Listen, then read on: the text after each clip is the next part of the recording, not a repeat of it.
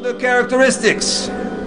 Allah subhanahu wa ta'ala continues in the next verse. And those who give at the time of ease and the time of difficulty, and those who restrain their anger, and those who forgive the others.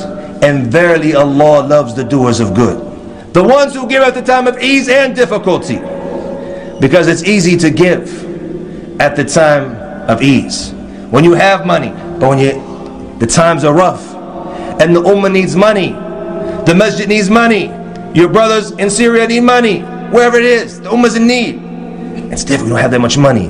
That's when it becomes difficult. That's the true test. And that's why the Prophet said that the sadaqah is burhan, it's evidence of your iman. The Prophet when he told us to fear the nar, to fear the hellfire, he told us, and fear the hellfire even it's with the half of a date, something that small. You have to give from what you love. The second characteristic, the one who restrains his anger. Because as the Prophet ﷺ told us, that the one who can wrestle and beat people down, he's not the strong one. The strong one is the one who can restrain himself at the time of anger. He can control his anger. How many difficulties have we fallen into in our lives? Because we couldn't control our angers.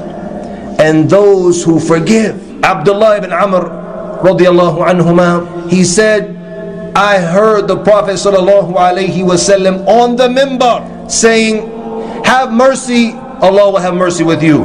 Forgive and Allah will forgive you. Allah tells us, and forgive and forget. Don't you want Allah to forgive you? If we really want to be from the muttaqeen, we have to forgive and forget our brothers. Nobody's perfect.